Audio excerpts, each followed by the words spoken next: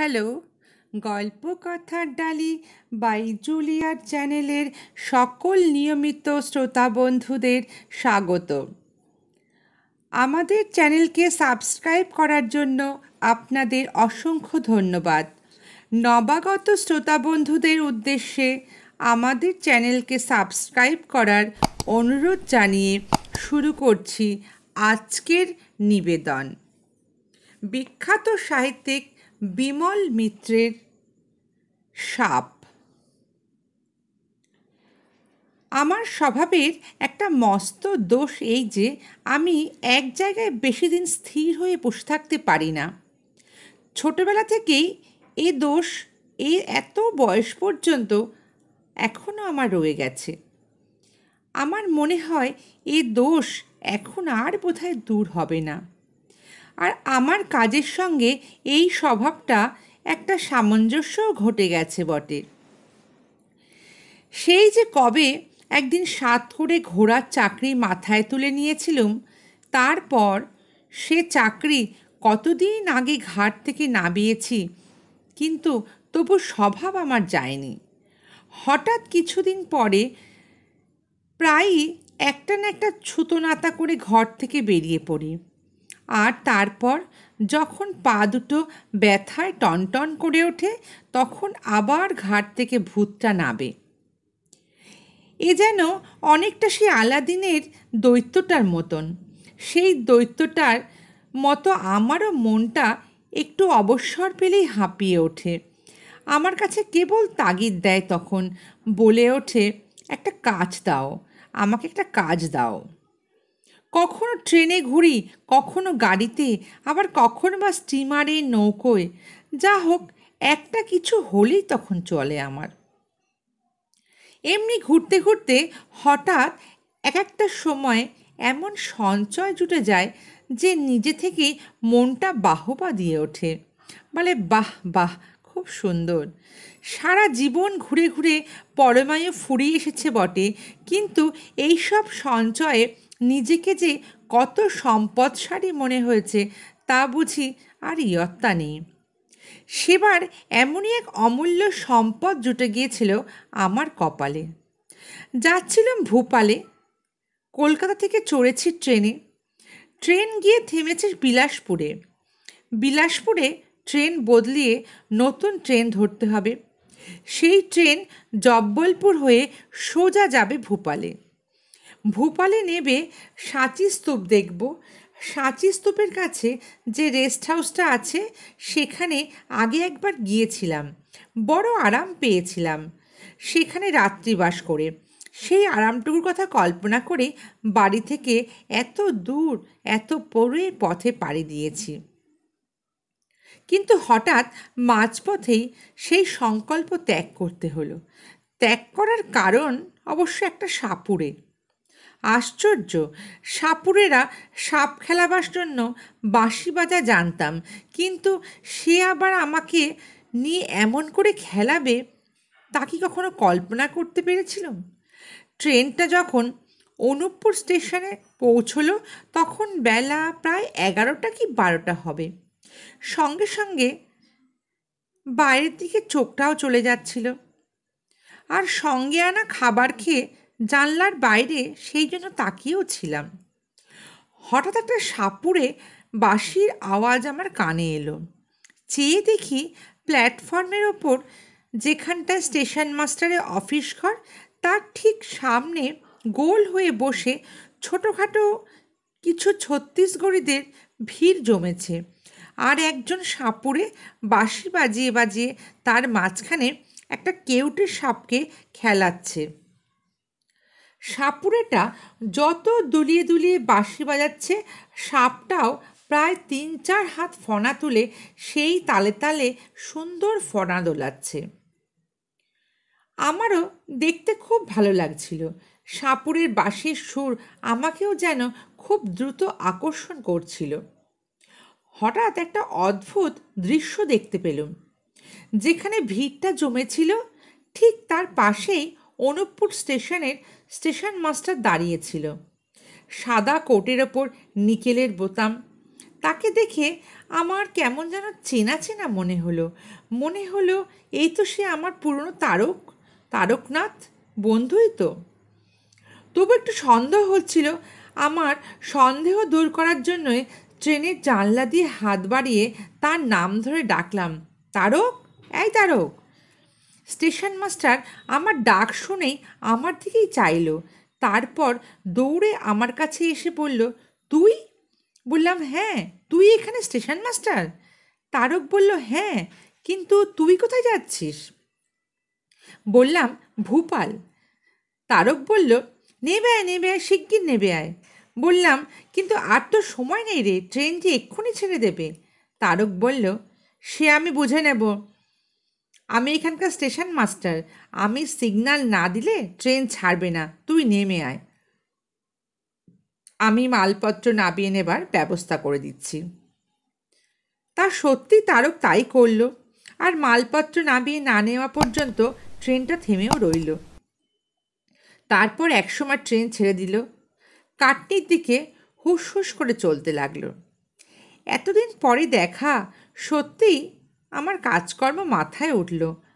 তারক বলল, তোকে আমার এখানে কদিন থাকতেই হবে, তারপর যেতে পারবি। আমি বললাম, না রে ভাই, তা হবে না। কলকাতায় অনেক কাজ পড়ে আছে, আমাকে কাল সকালের ট্রেনে যেতে হবে।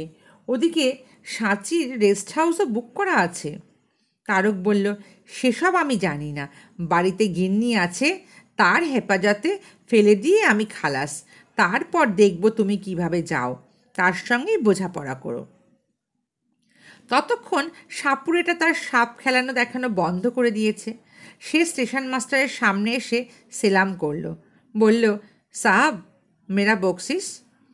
তারক বলল, আরে রোজ রোজ বকশিস দেয় নাকি? যা এখন, পরে একদিন আসিস। এখন কাজ আছে বাবা, পালা পালা। তারক ততক্ষণ আর তার অ্যাসিস্ট্যান্টকে সমস্ত কাজকর্ম বোঝাতে লাগল। আর আমার হোলডল আর সুটকেসগুলো জমাদারের মাথায় দিয়ে বাড়ি পাঠিয়ে দিল। বলল, আয়, আমার সঙ্গে আয়। তারকের পেছন পেছন আমি তার কোয়ার্টারের দিকে চলতে লাগলাম। সেই তারক, সেই আমাদের পুরনো তারক যার সঙ্গে আজকের তারকের কোনো মিলই নেই। এই তারক আমাদের মধ্যে ছিল সবচেয়ে বড়লোকের ছেলে, কিন্তু বাপের সমস্ত টাকা সে ফু দিয়ে উড়িয়ে দিয়েছিল, তা আমরা সচক্ষে দেখেছিলাম। কোনো নেশা করতে বাকি ছিল না। শেষকালে পৈতৃক বাড়িটা পর্যন্ত বিক্রি করে দিয়ে মাকে নিয়ে শ্যামবাজারের দিকে একটা ভাড়া বাড়ি নিয়ে থাকতো। যদি কখনো আমাদের পাড়ার দিকে আসতো তাও কেবল দু এক টাকা ধার করতে। কিন্তু সমস্ত কিছুর মূলে ছিল মেয়ে মানুষ। সেকেলে সেই পুরনো দিনের সমাজে এত মেয়ে বন্ধু যে তারও কী করে পেত, তাই আমাদের কাছে অবাক লাগতো। কারও জন্মদিনে সোনার আংটি তো কাউকে আবার সিল্কের শাড়ি। তারপর কাউকে নিয়ে চিড়িয়াখানা, বোটানিক্যাল গার্ডেন কিংবা সিনেমা দেখানো, এইসবই চলতো। তারকের সঙ্গে দেখা হলে আমরা প্রথমে জিজ্ঞাসা করতাম কিরে তারক, নতুন কোনো জটিল কি? একটু জুটিয়েছিস? তারক বলতো, আরে না রে ভাই, এসব এখন ছেড়েই দিয়েছি। এবার আমি কানমোলা খাচ্ছি, ও পথে আর মারাবো না। আমরা বলতাম, কেন রে? অমৃতে অরুচি হলো কেন তোর হঠাৎ? তারক বলতো, না ভাই, ওসবের পেছনে অনেক টাকা গরচা দিয়েছি, আর নয়। এবার ভদ্রলোককে দেখে ভদ্রলোকের মতো হচ্ছি, বুঝলি? মা যতদিন বেঁচে আছে, ততদিনই কলকাতায় আছি, তারপর সন্ন্যাসী হয়ে হিমালয় পাহাড়ে চলে যাব। তারক এইসব কথা মুখে বলতো বটে, কিন্তু আমরা তা বিশ্বাস করতাম না। ভাবতাম, ও সব কথার কথাই বলছে। কিন্তু ভেতরে ভেতরে স্বভাব কারোর বদলায় না সেটা আমি জানতাম। তারকের অন্ধকার ভবিষ্যতের কথা ভেবে আমরা মাঝে মাঝে দুঃখ পেতাম। এত বড়লোকের ছেলে শেষকালে এমন করে মেয়েদের পাল্লায় পড়ে পথের ভিখিরি হয়ে যাবে?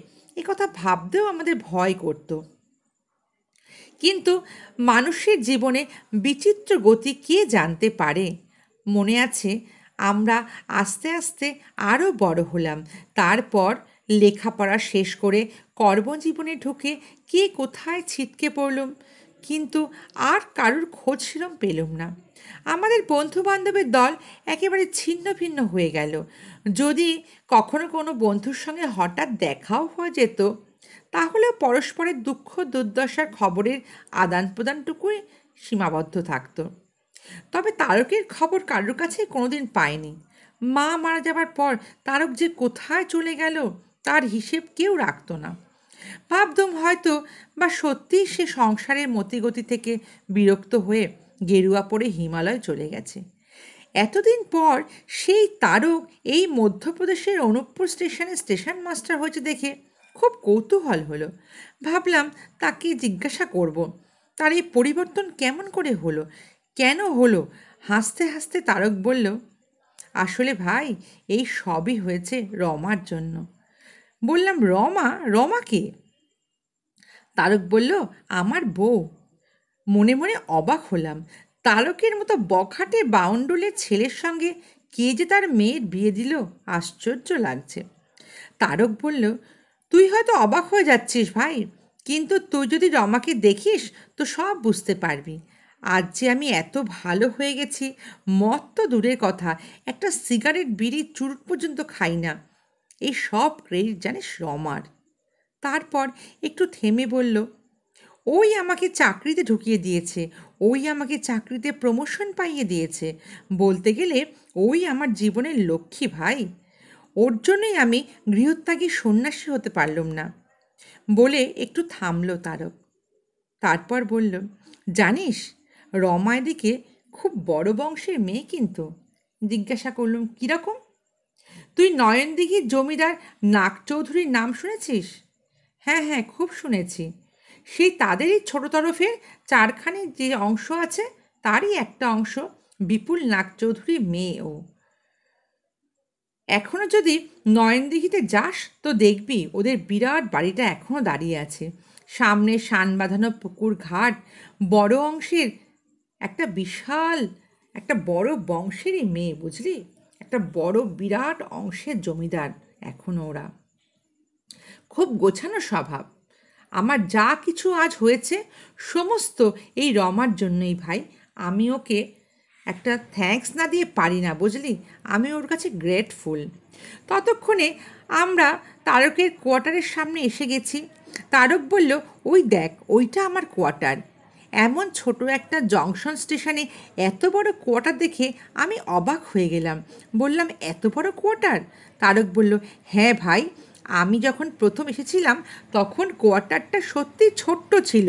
কিন্তু রমা আমাকে আমাদের ট্রাফিক সুপারিনটেন্ডেন্টের সঙ্গে গিয়ে দেখা করে একে বড় করার জন্য স্যাংশন করিয়ে নিয়ে এসেছে, জানিস? আমার কোয়ার্টারে এখন চারটে বেডরুম আর একটা ডাইনিং হল। আর সামনে তো দেখছিস এই বিরাট বাগান। এই সমস্তই রমার প্ল্যান। আমার ডিটিএস যখন ট্যুরে আসেন, এলে পরে আমাদের বাড়িতে থাকেন। শিগগিরই আমার প্রমোশনও হচ্ছে। প্রমোশন তারক বলল হ্যাঁ আমি শিগগিরই এটিএস হয়ে যাচ্ছি, জানিস। আমি বললাম এটিএস মানে? তারক বলল এটিএস মানে অ্যাসিস্ট্যান্ট ট্রাফিক সুপারিনটেন্ডেন্ট একটা গেজেটেড র্যাঙ্ক বুঝলি? এ সবই কিন্তু রমার জন্য। এত বড় নাগ চৌধুরী বংশের মেয়ে সামান্য একজন স্টেশন মাস্টারে বউ হয়ে থাকতে লজ্জা করবে না? তুই বল। বললাম হ্যাঁ তাই তো বটেই। তাহলে তোর দেখছি সেই যাকে বলে স্ত্রী ভাগ্যে ধন? হ্যাঁ ঠিক বলেছিস ভাই। সত্যি, নিজের বউ বলে বলছি না। অমন বউ কারোর হয় না। লাখেতে না একটা মেলে কিনা সন্দেহ। তারপর একটু থেমে বলল, তবে এখন এখানকার স্টেশন মাস্টার হয়ে রয়েছি বটে, কিন্তু ইনকাম আমার ডিটিএসের ডাবল কি করে? তারক হাসতে হাসতে বলল আমার দিকে চেয়ে। বলল, উপরি রে, উপরি, আমি তো অবাক, বললাম, ঘুষ? তারক বলল হ্যাঁ তোরা আমার পুরনো বন্ধু, তোদের বলতে আমার দোষ কি বল? এখানে আমার মাসে আয় তিন চার হাজার টাকা। বললাম, সে কি রে? তুই তো তাহলে বড় লোক এখন? তারক বলল হ্যাঁ ভাই, ওই যে তুই বললি না স্ত্রী ভাগ্যে ধন? আমারও তাই। এখানে রমাকে বিয়ে করে আনার পর থেকেই দু হাতে টাকা ওড়াচ্ছে। জানিস, দু হাতে টাকা উপায় করছি আমি। এক একটা ওয়াগান পিছু আমাকে পাঁচশো, ছশো টাকা ঘুষ দেয়। আমিও নি, নেব না কেন? বল, সবাই যে দেশে চুরি করছে, তখন আমি বা সাধু থাকব কেন? আমাদের যে সমস্ত কর্তা ব্যক্তিরা আছে না, তারাও ঘুষ নেয়, বুঝলি? যুক্তিটা কিন্তু অকাট্য। বললাম হ্যাঁ হ্যাঁ নিশ্চয়ই, ঠিকই বলেছিস। গেটের কাছে আসতেই একটা বিরাট অ্যালসেশিয়ান কুকুর ঘেউ ঘেউ করে ডাকতে লাগল। এসে একেবারে তারকের গায়ের ওপর ঝাঁপিয়ে পড়তে লাগল। তারকও আদর করে আলতোভাবে একটা চড় মারলো। বলল, ছি, লিসি, তুমি দিন দিন ভারী দুষ্টু হচ্ছ। দেখছ, আমার বন্ধু এসেছে, আর এখানে তুমি দুষ্টুমি করছ, তোমার লজ্জা করছে না? তারপর আমার দিকে চেয়ে তারক বলল, কিচ্ছু ভয় নেই, তোর কিচ্ছু ভয় নেই। আমি সঙ্গে থাকলে ও কিচ্ছু করবে না। লিসি হচ্ছে রমার কুকুর। হঠাৎ লিসির গলার আওয়াজ শুনেই বোধ হয় ভেতর থেকে মেয়েলি গলার শাসনের সুর ভেসে এলো। কে লিসি, কি করছ? চিৎকার করছ কেন? আর সঙ্গে সঙ্গে কেঁচুর মতো হয়ে গেল অ্যালসেশিয়ানটা। চেয়ে দেখলাম বাগানের শেষ প্রান্তে বাড়িটার বারান্দার ওপর একটা মহিলা মূর্তি। একটা কমলা রঙের ওপর চওড়া লাল পারোলা শাড়ি পরে একজন মহিলা। মহিলাটি তার কুকুরের দিকে চেয়ে আছেন। এলো করা চুল পিঠের ওপর দিয়ে ঝুলে আছে আর কপালের ওপর গোল একটা ঘোর লাল রঙের সিঁদুরের টিপ। তাকে দেখেই তারক আমার হাত ধরে টানতে টানতে তার কাছে নিয়ে গেল। বলল এই দেখো রামা, কাকে ধরে এনেছি? আমি তার সামনে হাত জোর করে তাকে নমস্কার করলাম। তারকের স্ত্রীও মিষ্টি হেসে প্রতি নমস্কার করলেন। তারপর তারক বলল, জানো, এ আমার বাড়ির সামনে দিয়ে পালিয়ে যাচ্ছিল। বলে কি না, আজ আসবে না, হাতে সময় নেই। তারকের স্ত্রী বলল, ভালোই করেছ টেনে নিয়ে এসে। আমরা জঙ্গলের মধ্যে পড়ে আছি, আর আপনারা একদিন এসে এখানে কাটিয়ে যেতে পারেন না। আমি বললাম, আমি জানতুম না, তারক এখানে রয়েছে। এখন তো জানলেন, এবার থেকে সময় পেলেই কিন্তু চলে আসবেন হ্যাঁ? বললাম আচ্ছা আচ্ছা জানা রইল তো ভালোই হলো। তারক বলল, একে খুব ভালো করে আপ্যায়ন করো রমা, আমাদের পুরনো বন্ধু, আর এর সঙ্গে আমার ছিল বেশি ভাব, জানো তো? বললুম আমি কিন্তু এখানে একদিনে বেশি থাকতে পারব না, মিসেস রায়।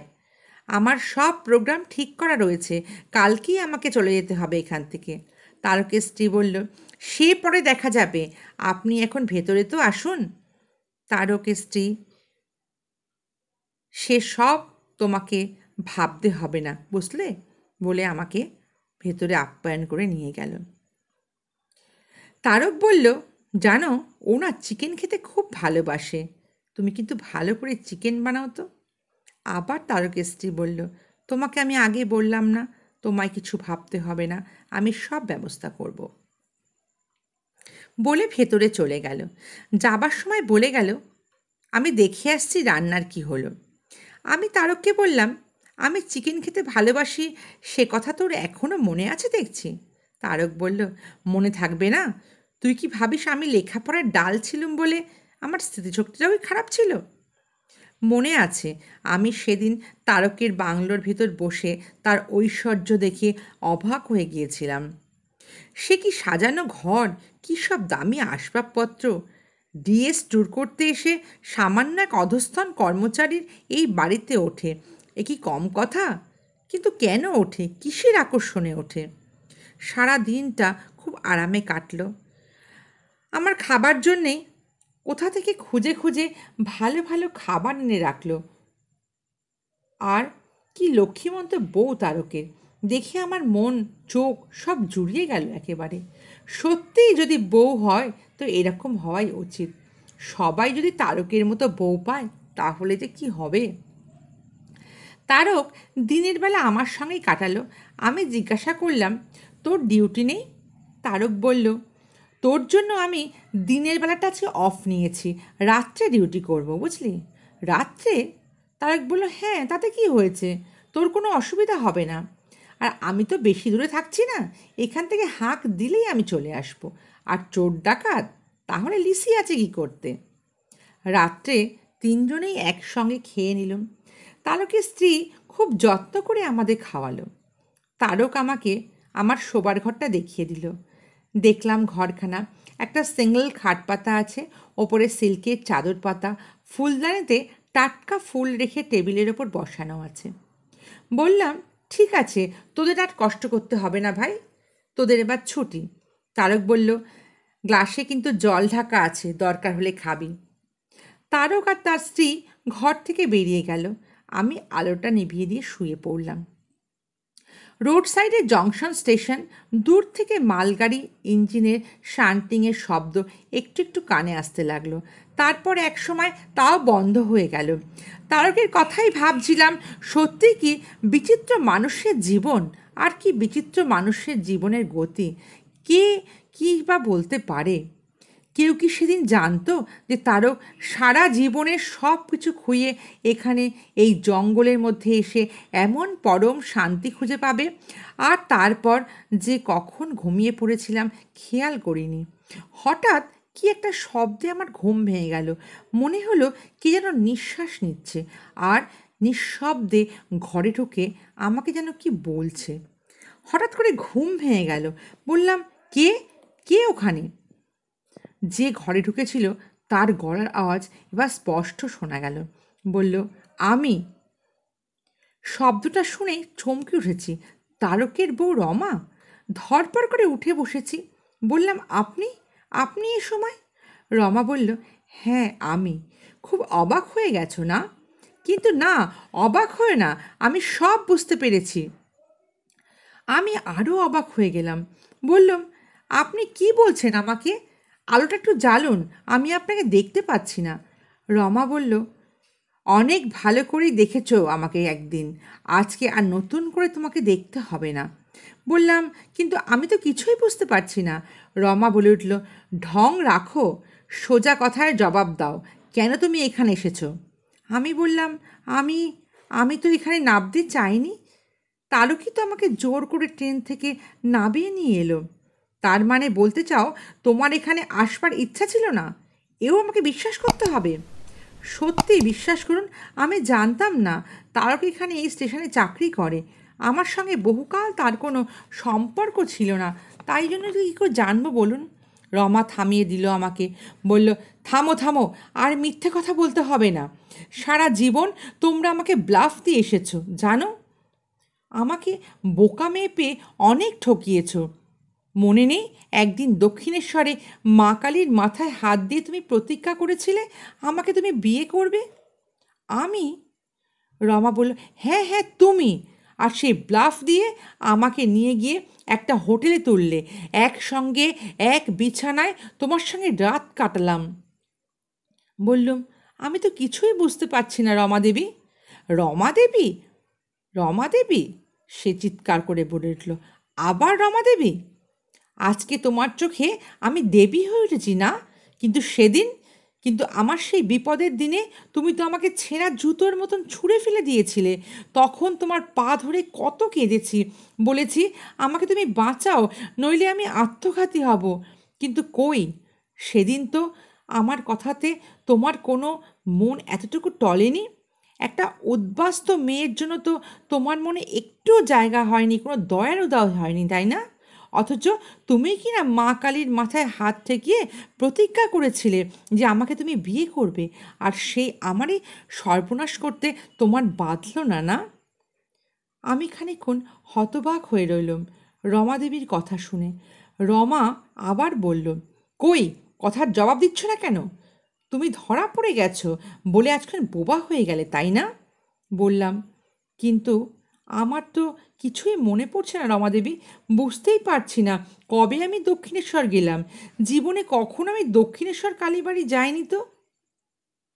রমা চেঁচিয়ে উঠল, বলল, দেখো বিকাশ, সারা জীবন অনেক চলেছি। এখন আর জ্বালিও না আমাকে। আমি অনেক দিন পর একটু শান্তির মুখ দেখতে পেয়েছি। ঠিক সেই সময় কি না তুমি আমাকে আবার জ্বালাতে এসেছ? বললাম, বিকাশ বিকাশ কার নাম? রমা বলে উঠল দেখো বিকাশ, মিথ্যে কথা বলবে না। অনেক মিথ্যা কথা আমাকে শুনিয়েছ, কিন্তু আর নয়। আর আমি তোমার কাছে মিথ্যে কথা শুনতে রাজি নই। কিন্তু সত্যিই তো আমার নাম বিকাশ নয়। আমার নাম তো থামো থামো। নিজের নাম ভারী এসেছ বলে আজকে তুমি আমাকে চিনতে পারছ না, আর আমাকে এখন মিথ্যে কথা বোঝাচ্ছ? সেই বউবাজারের স্কটল্যান্ডের বাড়িতে যা করেছ করেছ। এখানে তা আর তুমি করতে পারবে না। এ আমার নিজের সংসার, এ আমার স্বামীর ঘর। স্কটল্যান্ড? বলছেন কি আপনি? হ্যাঁ ঠিকই বলছি। তোমার নাম বিকাশ মজুমদার। স্কটল্যান্ডের যে বাড়িতে তোমরা থাকতে, আমরা তার পাশের বাড়িতেই থাকতাম। মনে নেই? বলো, আমি বানিয়ে বানিয়ে মিথ্যে কথা সব তোমাকে বলছি? আমি চুপ করে আছি বলে তুমি কিছু বলছো না না? চুপ করে থাকতে খুব ভালো লাগছে। আমি চুপ করে রইলাম। আমাকে দেখে হয়তো ভুল করে কাকে ভেবে নিয়েছে? ইস, কি অবস্থা? বলো, চুপ করে রইলে কেন? বলো, জবাব দাও। তোমার নাম বিকাশ মজুমদার নয়? আমি বললাম, না তো, আমার নাম বিকাশ নয়। আবার মিথ্যে কথা? এখনও বলছি সত্যি কথা বলো। জীবনে একবার অন্তত সত্যি কথা বলো। তোমার ভালো হবে বিকাশ। তুমি যে আমার সেদিন সেই সর্বনাশ করেছিলে তা তুমি জানতে কি সর্বনাশ করেছিলে? তুমি কেন এখানে এলে বিকাশ? কেন? কেন তুমি আবার এখানে এলে বলো? আমি তোমার কি ক্ষতি করেছি জানো? তোমার সেই ছেলেটাকে আমি নিজের হাতে গলা টিপে মেরে ফেলেছি। সে কথা আমি আজও ভুলতে পারি না। সব সময় আমার সে কথা মনে পড়ে যায়। আমি মহা মুশকিলে পড়লাম। আশ্চর্য, কে বিকাশ মজুমদার? কে সেই স্কটল্যান্ডের অচেনা লোকটা যে এই রমাকে বিয়ে করবে বলে স্তোদবাক্য দিয়ে এক উদ্বাস্ত মেয়ের সর্বনাশ ঘটিয়েছিল? তার দায় আজ আমাকে এখানে সে বহন করতে হচ্ছে। বলো বলো, বিকাশ, বলো, কেন তুমি আবার এলে? কেন কেন তুমি আবার সেই দিনের কথা মনে করিয়ে দিলে? এরকম বিপদে আর কখনো পড়িনি জীবনে। কোনো মানুষ যেন এরকম বিপদে কখনো না পড়ে। আমি কি করব বুঝতে পারছিলাম না। তবে কি আমি মিথ্যেটাই মাথা পেতে নিকা স্বীকার করে নেব? তাতে কি রমাদেবীর শান্তি হবে? বলো বিকাশ, বলো কেন তুমি এলে? বললুম তো, আমি ভুল করেছি রমা। ভেবেছি তুমি আমায় চিনতে পারবে না। কিন্তু আমি কথা দিচ্ছি, আর কোনো দিন এখানে আসব না। কাল সকালেই আমি এখান থেকে চলে যাব। কিন্তু তোমার সঙ্গে যে তারকের পরিচয় আছে, তা আমি সত্যিই জানতাম না। তাহলে কি তারকের সঙ্গে আমি মিশি? তুমি এবার যা করেছ, তা করেছ। আর কখনো এখানে কিন্তু এসো না, বিকাশ। তোমার দুটি পায়ে পড়ি। তোমার পুরনো জীবনের কথা আর মনে করিয়ে দিও না। আমার পুরনো কথা মনে করতে ভালো লাগে না। অনেক দিন পরে আমি একটু সুখের মুখ দেখতে পেয়েছি। এখন আমি আরও বড় হতে চাই। তারকের জন্য আমি আরও অনেক চেষ্টা করছি, বুঝলে? তুমি আর কখনো আসবে না এখানে। বলো, কথা দাও। আমার গায়ে হাত দিয়ে প্রতিজ্ঞা করো আর আসবে না? আরও কথা দাও। কাল সকালবেলায় তুমি এ বাড়ি ছেড়ে চলে যাবে? আমি বললাম তুমি আমাকে ক্ষমা করো, রমা। আমি আজ স্বীকার করছি আমি দোষী। আমি তোমাকে সেদিন ঠকিয়েছিলাম। দক্ষিণেশ্বরে কালীবাড়ি গিয়ে আমি যে সেদিন তোমাকে বিয়ে করব বলে প্রতিজ্ঞা করেছিলাম, সে সমস্তই মিথ্যে। আমি সেদিন তোমার সামনে অভিনয় করেছিলাম। রমাদেবী বললেন, কিন্তু এখনও তো তোমার সে স্বভাব যায়নি। এখনও তুমি সেই অভিনয় করতেই এসেছ। নিজের আসল পরিচয় ভারিয়ে তারকের বন্ধু সেজে এসেছ। ভেবেছ আমি চিনতে পারব না না? কিন্তু তুমি জেনে রাখো বিকাশ, সেই সেদিনকার রমা আর এই রমা এক নয়, আমি সেই রমা নেই। আজ আমি অনেক বড় হয়েছি, আজকে আমার টাকা, শাড়ি, গয়না কিছুর অভাব নেই। আজ আমি এক বড় লোকের বউ। তারপর একটু থেমে আবার বলল, তা থাক, সে কথা যাক। তুমি কালকেই চলে যাবে এ বাড়ি থেকে। আমি হাজার বললেও কিন্তু থাকবে না। এই তোমাকে বলে রাখছি, বুঝলে? আমি বললাম হ্যাঁ হ্যাঁ চলে যাব। তাই যেও। আমি বললাম, আমি তোমায় কথা দিচ্ছি, কাল ভোরবেলায় আমি চলে যাব। রমা দেবীর গায়ে হাত দিয়েই আমাকে প্রতিজ্ঞা করতে হলো যে আমি আর কখনো ওদের জীবনে অনুপ্রবেশ করব না। আমি জানি না আমার অভিনয় নিখুঁত হলো কি না হয়তো ঘরে আলো জ্বালা থাকলে আমার অভিনয়টা ধরা পড়তো। কিন্তু ঘরের ভেতর তখন নিকষ কালো অন্ধকার। মনে হলো তারকের স্ত্রী বোধহয় একটু শান্ত হলো আমার কথাতে। তারপর আর সেখানে দাঁড়িয়ে রইল না সে। ঘর থেকে বেরিয়ে পাশের হল ঘরে চলে গেল। আর আমি সারা রাত আমার দু চোখে ঘুম এলো না। আমি বিছানায় শুয়ে এপাশ ওপাশ ছটপট করতে লাগলাম। এ কি হলো? এ কাকে নিয়ে সংসার করছে তারক? এরই জন্য তারকের চাকরিতে এত উন্নতি? এরই জন্য এই বাড়িতে এসে উঠে অফিসের যে কি ডিটিএস বসনাকে বলে, সে থাকে? এই স্ত্রীর ভাগ্যে নাকি তারকের ঐশ্বর্য? এই কি নয়নদিঘি চারানি অংশের জমিদার তার নাগচৌধুরীর একমাত্র কন্যা রমা নাগচৌধুরী? ভোরবেলায় তৈরি হয়ে নিলাম। আর এক মুহূর্ত এখানে থাকা নয়। আমি রাত্রেই কথা দিয়েছি, এ বাড়িতে আর থাকব না। সকালবেলা ডিউটি থেকে তারক এসে হাজির। আমাকে দেখেই বলল, এ কী রে, তুই চলে যাচ্ছিস নাকি? বললুম হ্যাঁ ভাই, আমাকে আর যেতেই হবে, এক্ষুনি। সকালের ট্রেনেই চলে যাব। তারক স্ত্রীকে ডেকে চেঁচিয়ে বলল, রমা, রমাই, দেখো, ও চলে যাচ্ছে। তুমি ওকে আটকাবে না? তারকের স্ত্রী এলো, বলল, আমি তো ওকে অনেক করে বলেছিলাম থাকতে, উনি কিছুতেই থাকবেন না। তারক বলল, কেন চলে যাচ্ছিস রে? রাত্রিরে তোর কিছু অসুবিধা হয়েছে নাকি এখানে? বললাম, না না। ঘুম ভালো হয়েছিল তো? বললাম হ্যাঁ হ্যাঁ খুব ভালো ঘুম হয়েছিল। কোথা যে রাত কেটে গেছে বুঝতেই পারিনি। তাহলে? তাহলে কেন চলে যাচ্ছিস? আর একদিন এসে থাকব, ঠিক আছে? রমা দেবীও বলল, থাকুন না। এত করে বলছি, দেখছেন তো জঙ্গলের মধ্যে পড়ে রয়েছি, মাঝে মাঝে এদিকে একটু এলে ঘুরে যেতে তো পারেন। বললাম, আসব। এবার এদিকে এলে নিশ্চয়ই আসব। রমার দিকে চেয়ে দেখলাম, সে মুখে কোনো ভাবান্তর নেই। কাল রাত্রে যে কত কাণ্ড করেছিল তার কোনো লেশমাত্র এখন মুখে নেই। তারপর এখন যেন কীরকম স্বাভাবিক হয়ে আছে। তারপর মনে আছে, তারক আমাকে ট্রেনে তুলে দিতে এসেছিল। দেখলাম প্ল্যাটফর্মের ওপর সেই সাপুরেটা আবার বাঁশি বাজাতে শুরু করেছে। ছত্তিশগড়িরা তাকে ঘিরে সাপের খেলা দেখছে। আর সেই ভিড়ের মধ্যে একটা কেউটে সাপ ফণাটা তুলে দু তিনবার করে, দু তিন হাত করে উঁচুতে উঠছে বাঁশির সুরে তুলে মাথা দোলাচ্ছে। দৃশ্যটা দেখতে দেখতে আমার মনটা কেমন আচ্ছন্ন হয়ে গেল। ট্রেন এলো, আমি যন্ত্রচালিতের মতো ট্রেনে উঠলাম। উঠে একটা বেঞ্চে বসে পড়লাম। তারক জানলার বাইরে প্ল্যাটফর্মের উপর দাঁড়িয়ে আছে। হঠাৎ আমি জিজ্ঞাসা করলাম আচ্ছা তারক, বিকাশের সঙ্গে তোর দেখা টাকা হয়? বিকাশ? বিকাশ কি? কথাটা বলতে গিয়ে তারকের মুখখানা যেন ভয় ফ্যাকাশে হয়ে গেল। বললাম, বিকাশ মজুমদার? তারক আমার মুখের দিকে তীক্ষ্ণ দৃষ্টি তাকিয়ে বলল, বিকাশ মজুমদারকে তুই চিনলি কী করে? সে তো স্কটল্যান্ডে থাকতো। মিথ্যা করে বললাম, আমার মামার বাড়ি সে স্কটল্যান্ডে, তাই জন্য চিনি। তাই নাকি? তা তো জানতাম না। তা সে তো একটা স্কাউন্ডেল রে। তোর সঙ্গে খানিকটা চেহারার মিল আছে তার। ঠিক তোর মতো মাথায় কোকড়া চুল, চোখে চশমা, জানিস? তোকে যদি কোনোদিন রমা দেখতে পায়, তোকে না মানে বলতে যাচ্ছি তাকে, অর্থাৎ ওই বিকাশকে। যদি দেখতে পায় কোনো দিন তো খুন করে ফেলবে। এত রাগ তার ওপর না? বললাম, কেন? এত রাগ কেন? কি করেছে সে রমার? কি জানি ভাই, তা জানি না। ও পাড়ায় নাকি প্রত্যেকটা মেয়েরও সর্বনাশ করেছে। প্রত্যেককে নাকি কথা দিয়েছিল, বিয়ে করবে কিন্তু করেনি। তারপর? তারপর তো আমি রমাকে বাঁচালাম বিকাশের হাত থেকে।